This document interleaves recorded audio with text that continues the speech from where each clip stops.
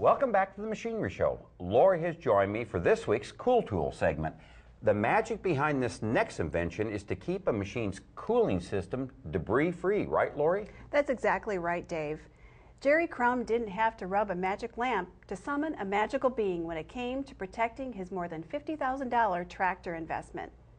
The Okemah, Oklahoma rancher was able to grant his own wish for a product that would help keep the nooks and crannies of his machine's radiator clear of debris. Crum tells us how his idea for the radiator genie was born. We bought a new tractor. We took it to the field, and the second day we were baling hay. The air conditioner started getting hot, started getting hot in the cab. The temperature started going up on the engine. Hydraulic oil started getting hot, and we couldn't operate our baler well, and we shut it down we had the option to go ahead and run it and burn it up. It was a brand new tractor, cost us 50,000 plus dollars. So we called the dealer, we think there's something wrong with the machine. All our other tractors were old tractors. We never had any trouble with them.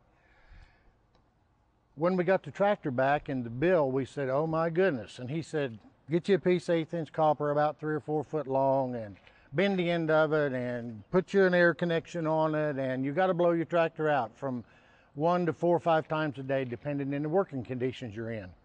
So we did, and it halfway worked. Halfway. You couldn't tell where the end was. You could damage the fins on your radiator.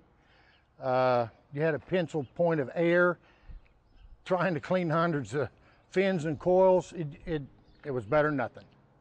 So we set out out of necessity to try to make something that would actually work and work quickly in the field.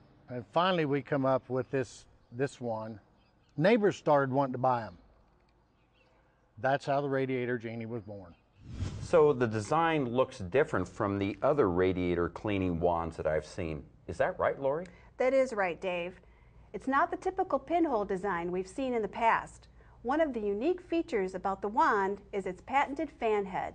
It's designed to fit into the engine's cowl in between the fan blades where it can be positioned at the correct angle to blow directly through the radiator coils and exert maximum pressure to the back of the radiator.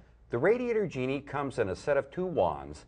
One is for air, as we can see here with the chuck, and the other is for water? That's right, Dave. The set of patent pending 23 inch wands sells for $34.95. When it comes to cleaning out your radiator, air is most popular.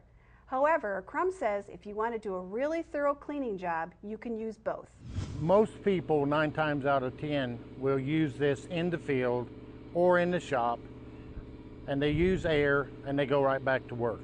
If you wanted to make this machine as clean as it came off the day it came off the showroom floor, you would blow it out first, then use the air wand or the water wand and wash it out, and it's as clean as it was the day that it was manufactured.